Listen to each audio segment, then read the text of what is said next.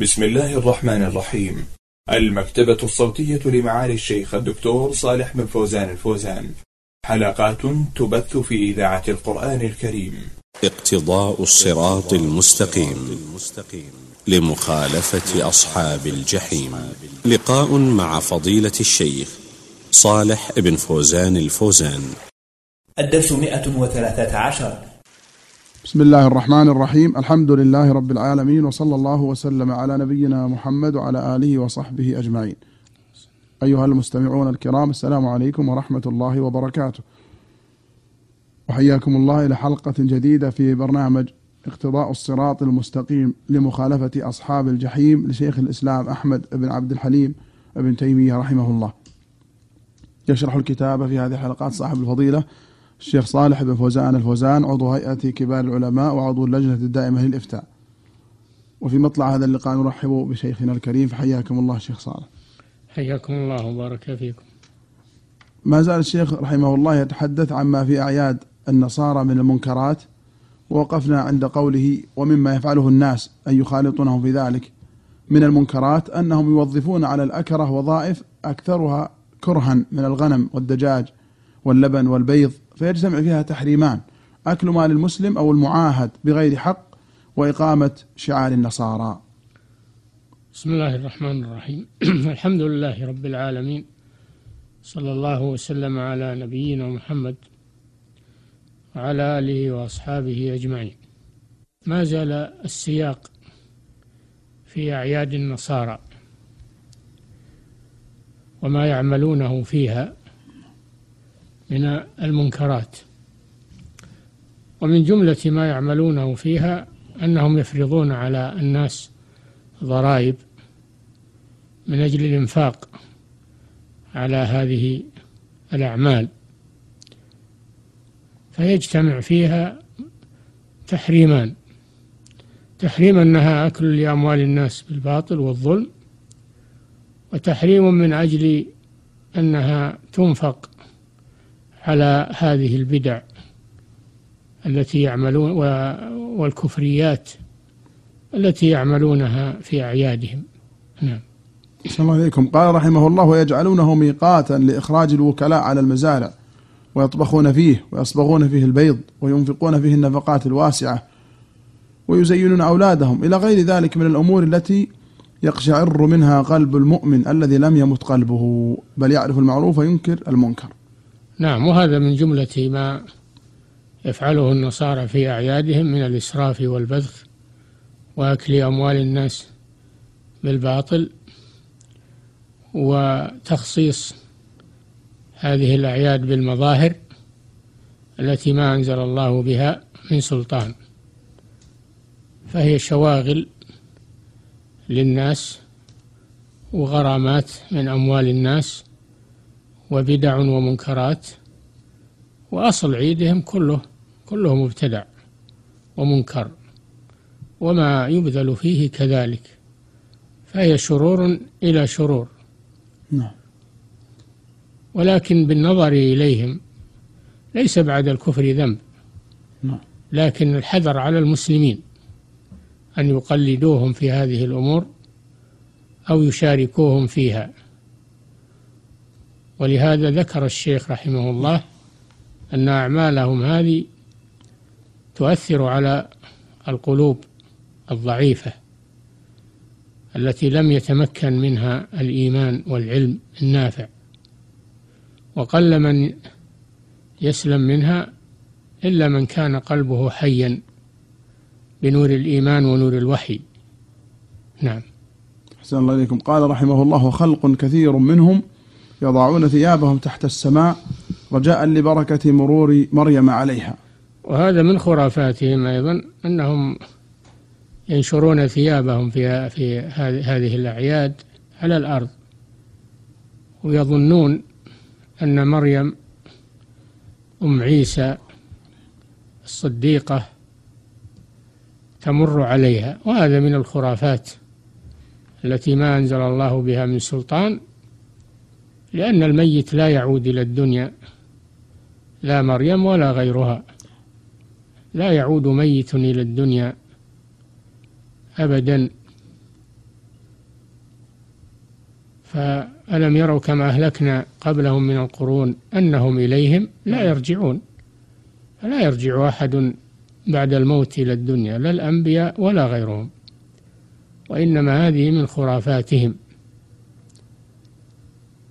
ثم لو فرضنا أن مريم حية ومرت على الثوب هل هذا فيه بركة أو فيه بركة من الله سبحانه وتعالى؟ هذا من الخرافات التي ما أنزل الله بها من سلطان. نعم. قال فهل يستريب من في قلبه أدنى حياة من الإيمان؟ أن شريعة جاءت بما قدمنا بعضه من مخالفة اليهود والنصارى لا يرضى من شرعها ببعض هذه القبائح. نعم. هو الشيخ رحمه الله إنما ذكر نماذج من أفعالهم القبيحة وقال إنها لا تأتي شريعة بمثل شريعة من عند الله بمثل هذه الترهات والأباطيل لأن الشريعة الإلهية منزهة عن هذه الخرافات. نعم. إذا نقول لا يرضى من شرعها ببعض هذه القبائح. نعم. ويفعلون ما نعم. هو؟ يقول فهل يستريب من في قلبه أدنى حياة من الإيمان؟ أن شريعة جاءت بما قدمنا بعضه من مخالفة اليهود والنصارى. لا يرضى من شرعها ببعض هذه القبائح. نعم. أن شريعة يعني شريعة الإسلام. نعم. جاءت بما قدمنا بعضه من الأدلة على تحريم هذه الأشياء. لأنه سبق أن ذكر الأدلة على تحريم أعمالهم هذه وأنها لا أصل لها وأن من شرع الشريعة لا يرضى بهذا سبحانه وتعالى. نعم. قال ويفعلون ما هو أعظم من ذلك يطلون أبواب بيوتهم ودوابهم بالخلوق والمغرة وغير ذلك وذلك من أعظم المنكرات عند الله تعالى. هذا من مظاهرهم في هذه في أيام عيدهم أنهم يصبغون أبواب بيوتهم ودوابهم بأنواع من الأصباغ. ليتميز هذا العيد عن غيره من الأيام وهذا كله باطل وتكلف ما أنزل الله به من سلطان. نعم. قال رحمه الله فالله تعالى يكفينا شر المبتدعة وبالله التوفيق. نعم. الله يكفينا شر المبتدعة من النصارى ومن غيرهم لكن أصل الابتداع جاء من النصارى ومن يقلدهم من المسلمين. فالشيخ رحمه الله دعا الله أن أن يحمينا من هذه البدع وأن تروج عندنا وفي بلادنا. نعم. قال وأصل ذلك كله إنما هو اختصاص أعياد الكفار بأمر جديد أو مشابهتهم في بعض أمورهم. نعم أصل هذا كله أنه لا يجوز أننا نعمل بمناسبة أعياد الكفار أعمالا خاصة بها لأن في هذا تعظيما لها لأن في هذا تعظيم لها. وأيضا فيه مشاركة لهم وتشجيع لهم. فالواجب على المسلمين ألا يحدثوا في هذه الأعياد أعياد النصارى أي شيء وأن تكون كالأيام العادية. نعم. قال يوضح ذلك يعني مشابهتهم وتجديدهم أن الأسبوع الذي يقع في آخر صومهم يعظمونه جدا ويسمون خميسه الخميس الكبير وجمعته الجمعة الكبيرة. كما سبق أنهم عندهم ثلاثة الأيام الخميس الذي هو يوم الصوم وتنويع المآكل من ما يخرج من البهائم بهيمة الأنعام. ومن الدجاج من البيض يفطرون على ذلك بزعمهم. وهذا الخميس والجمعة الذي يسمونه يوم التصليب. الجمعة العظيمة التي يزعمون أن المسيح عليه السلام قتل وصلب فيها على الخشبة. ويوم السبت هو يوم القيامة. الذي يزعمون أن هو يوم الدفن الذي يزعمون أن المسيح أنزل من من الخشبة ودفن في الأرض. دفن في الأرض ميتا في قبر. ويوم الأحد هو يوم القيامة أي قيامة المسيح عليه السلام من قبره ورفعه إلى السماء. هذه خرافاتهم. وكل هذا قد رده الله جل وعلا في قوله وما قتلوه وما صلبوه ولكن شبه لهم. و وإن الذين آه، وما قتلوه وما صلبوه ولكن شبه لهم. وإن الذين اختلفوا فيه, اختلفوا فيه لفي شك منه ما لهم به من علم. ثم قال جل وعلا وما قتلوه يقينا. بل رفعه الله إليه. فالله جل وعلا رد على اليهود وعلى النصارى الذين صدقوهم أنهم قتلوا المسيح عليه السلام وصلبوه وإنما الله جل وعلا أخذه من بينهم بل رفعه الله إليه حيا. رفعه إليه حيا وألقى شبهه على واحد قتلوه وصلبوه. فالقتل والصلب وقع على الشخص الذي ألقي عليه شبه المسيح عليه السلام. إما أنه من أتباع المسيح من الحواريين وأنه قدم نفسه آه، فداء للمسيح عليه السلام وحبا له وصبر على ذلك. وإما أنه الذي دل دل اليهود على مكان المسيح. فالله جل وعلا ألقى عليه الشبه فأخذوه وقتلوه وصلبوه عقوبة له من الله سبحانه وتعالى. وأما المسيح عليه السلام فهو في منجا من هذا كله ومن هذه الخرافات. نعم. صلى الله إليكم. قال رحمه الله ويجتهدون في التعبد فيه ما لا يجتهدون في غيره بمنزلة يقصد الأسبوع الأخير في صومهم بمنزلة العشر الأواخر من رمضان في دين الله ورسوله. نعم. اللي هو يوم صومهم وإفطارهم يوم الخميس يعظمونه كما يعظم الم... كما يعظم المسلمون العشر الأواخر التي عظمها الله سبحانه وتعالى وفضلها على غيرها من الأيام. فهم يعظمون يوم الخميس مثل تعظيم المسلمين.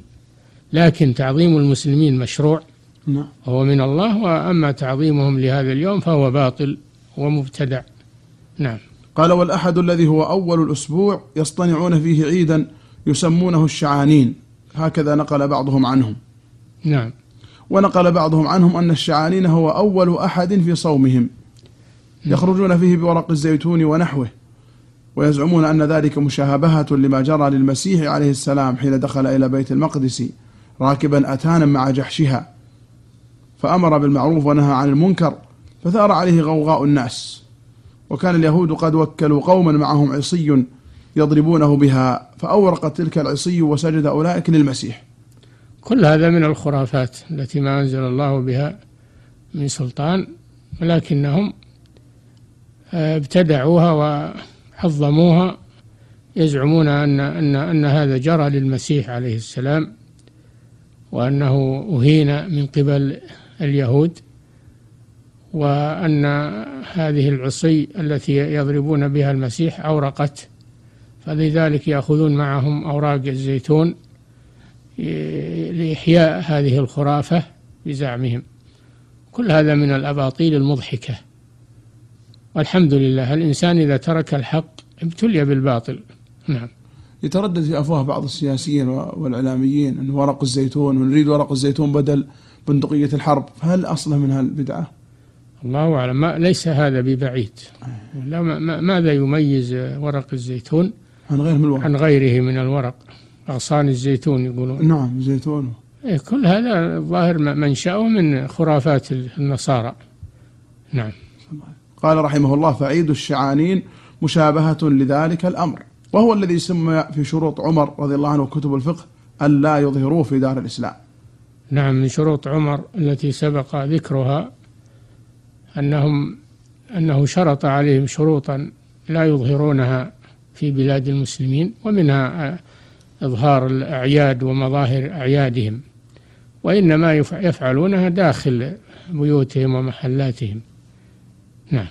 قال ويسمون هذا العيد وكل مخرج يخرجونه إلى الصحراء باعوثا. فالباعوث اسم الجنس لما يظهر به الدين كعيد الفطر والنحر. يأخذونه من الانبعاث أو البعث يسمونه الباعوث يخرجون فيه ويظهرون آه، يظهرون نسكهم وعباداتهم فيسمونه الباعوث. فهذه أسماء من أعيادهم كلها من أعيادهم التي ما أنزل الله بها عليهم ما أنزل الله بها عليهم من سلطان. نعم. قال فما يحكونه عن المسيح صلوات الله عليه وسلامه من المعجزات هو في حيز الإمكان. لا نكذبهم فيه لإمكانه ولا نصدقهم لجهلهم وفسقهم. كونهم يقولون أن العصي أورقت يكون هذا معجزة للمسيح. نحن لا نستبعد المعجزات. التي يجريها الله على على يد المسيح أو غيره من الأنبياء. والإيمان بها حق. ولكن هذا يحتاج إلى إثبات. وأما الاعتماد على قولهم فهم لا يصدقون ولا يكذبون في هذا الأمر. نعم. قال وأما موافقتهم في التعييد فإحياء دين أحدثوه أو دين نسخه الله. نعم كون أنه حصل للمسيح معجزة فنحن لا نستبعد هذا لأن الله يجري على أيدي الأنبياء معجزات ومنهم المسيح عليه السلام. لكن لا لا نعتمد على نقلهم وعلى قولهم. ولكن الواجب علينا أن نخالفهم. حتى ولو كان معجزة للمسيح على فرض فإننا لا لا نتشبه بهم ونشاركهم في تعظيم هذا اليوم وهذه المظاهر. نعم. قال ثم يوم الخميس الذي يسمونه الخميس الكبير يزعمون أن في مثله نزلت المائدة التي ذكرها الله في القرآن حيث قال تعالى قال عيسى بن مريم اللهم ربنا أنزل علينا مائدة من السماء تكون لنا عيدا لأولنا وآخرنا وآية منك وارزقنا وأنت خير الرازقين. نعم يوم الخميس سبق أنه يوم يتوسعون فيه في المآكل والمشارب و وينتهي فيه وقت صيامهم. هم يتخذونه عيدا لهذا الغرض ويزعمون أنه يوم المائدة والمائدة ثابتة بالقرآن نعم. الكريم. ثابت ذكرها في القرآن الكريم أما أنها نزلت فهذا محل نظر.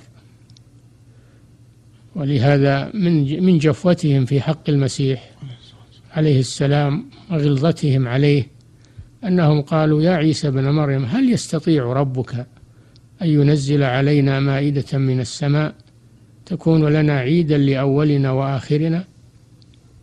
فانظر إلى قولهم هل يستطيع ربك ما فيه من سوء الأدب مع الله سبحانه وتعالى ومن تحدي المسيح عليه السلام ومما يدل على دناءتهم وتعلقهم بالأكل وملء البطون؟ هل يستطيع ربك أن ينزل؟ وأيضا قولهم ربك يعني كأنه ليس ربا لهم. هل يستطيع؟ ففي هذا الأسلوب من الجفاء والنكارة ما فيه. هل يستطيع ربك أن ينزل علينا مائدة من السماء؟ تكون لنا عيدا لأولنا وآخرنا وآية منك. قال اتقوا الله يعني معجزة ويكون معجزة بزعمهم. وتكون لنا عيدا لأولنا وآخرنا وآية. قال قال اتقوا الله إن كنتم مؤمنين. قال هل يستطيع ربك أن ينزل علينا مائدة من السماء تكون لنا عيدا لأولنا وآخرنا؟ نعم. هل يستطيع ربك قال اتقوا الله إن قال اتقوا الله وعظهم عليه السلام. يعني من هذا الاقتراح ومن هذا الكلام قال اتقوا الله إن كنتم مؤمنين. قالوا نريد أن نأكل منها. وتطمئن قلوبنا. قدموا الأكل. شوف. نعم. تطمئن قلوبنا. هذا يدل على أن في قلوبهم شكا في أمر المسيح. وأنها لا تطمئن إلا بنزول المائدة وحصول هذا المقترح. وتطمئن قلوبنا ونكون عليها من الشاهدين. عند ذلك دعا عيسى عليه السلام قال اللهم ربنا أنزل علينا مائدة من السماء تكون لنا عيدا لأولنا وآخرنا وآية منك وارزقنا وأنت خير الرازقين. هذا دعاء المسيح عليه السلام. الله جل وعلا أجابه قال قال الله إني منزلها عليكم فمن يكفر بعد منكم فإني أعذبه عذابا لا أعذبه أحدا من العالمين. فهل هي نزلت بالفعل أو ما نزلت؟ الله أعلم. لكنهم يعظمون هذا اليوم لزعمهم أنها نزلت يوم الخميس أنها نزلت فيه المائدة. نعم. السلام عليكم. قال رحمه الله فيوم الخميس هو يوم عيد المائدة ويوم الأحد يسمونه عيد الفصح وعيد النور والعيد الكبير. ويوم؟ ويوم الأحد يسمونه عيد الفصح نعم. وعيد النور والعيد الكبير. نعم. وهو يوم قيامة المسيح من القبر. نعم. ولما كان عيدا صاروا يصنعون لأولادهم البيض المصبوغ وانظر كيف كيف الرب سبحانه وتعالى اللي يقولون إن المسيح ان, إن الله هو المسيح ابن مريم. أو يقولون المسيح ابن الله.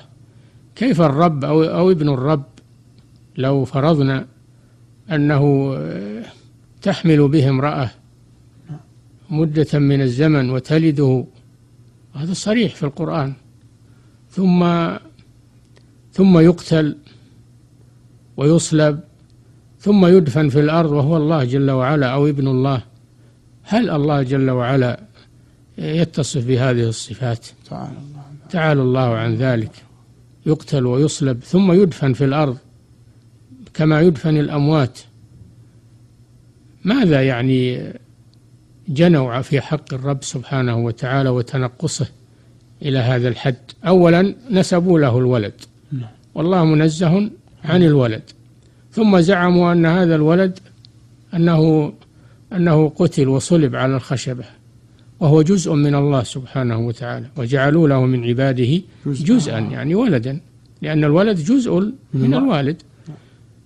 ثم يزعمون انه أنه دفن في الأرض ميتا هل الله يموت سبحانه وتعالى؟ هل يقتل؟ كل هذا من من جراءتهم على الله سبحانه وتعالى ومما يدل على كذبهم. هذا برهان على كذبهم أن المسيح ليس ابنا لله عز وجل وليس هو الله ولا ثالث ثلاثة وإنما هو عبد الله ورسوله. ورسوله. كلمته ألقاها إلى مريم وروح منه. هذا يدل على غباوة النصارى وعلى افترائهم الكذب على الله سبحانه وتعالى. نعم. أحسن الله إليكم. قال رحمه الله ولما كان عيدا صاروا يصنعون لأولادهم البيض المصبوغ ونحوه لأنهم فيه يأكلون ما يخرج من الحيوان من لحم ولبن وبيض إذ صومهم هو عن الحيوان وما يخرج منه. نعم يصومون عن الحيوان وما يخرج منه ثم يفطرون عليه. ثم يفطرون على على ما صاموا عنه, عنه. وهذا لا لا غبار عليه ان الإنسان يصوم عن أشياء ثم يفطر عليها. كما نصوم نحن عن الطعام والشراب ثم نفطر عليه, عليه. لا هذا لا الله جل وعلا يمنع من أكلها في وقت ويبيحها في وقت. لكن الشأن في في نزول هذا من عند الله عز وجل وثبوته من عند الله عز وجل. نعم. قال وإنما يأكلون في صومهم الحب وما يصنع منه من زيت وشيرج ونحو ذلك. نعم يتجنبون يتجنب في أيام صومهم يتجنبون اللحوم والدسم و ويقتصرون على الحب والزيت وما أشبه ذلك. هذا ما يأكلونه في في أيام صومهم أو في ليالي صومهم. في الوقت الذي يبيح لهم الأكل فيه. كما أن المسلمين يأكلون في الليل, في الليل ويشربون. حل لكم ليلة الصيام الرفث إلى نسائكم. إلى أن قال وكلوا واشربوا حتى يتبين لكم الخيط الأبيض من الخيط الأسود من الفجر. فهم يأكلون في الأيام التي يصومونها يأكلون في آه، الفترة التي يسمح لهم بالأكل فيها لا يأكلون اللحوم والدسومات وإنما يأكلون الحبوب وما ومشتقاتها. أما في الإفطار فيأكلون هذه اللحوم. نعم. أحسن الله إليكم شيخنا وجزاكم خيرا. أيها المستمعون الكرام إلى هنا نأتي إلى نهاية هذه الحلقة من برنامج اقتضاء الصراط المستقيم مخالفة أصحاب الجحيم لشيخ الإسلام بن تيمية رحمه الله. يشرحه صاحب الفضيلة الشيخ صالح بن فوزان. الفوزان شكر الله لشيخنا ما تكرم به من الشرح والبيان وشكر لكم حسن استماعكم ونفعنا وإياكم بما نقول ونسمع. هذه في الختام تحية مهندس الصوت عبد الله السلولي. حتى نلقاكم في الحلقة القادمة إن شاء الله. نستودعكم الله. والسلام عليكم ورحمة الله وبركاته.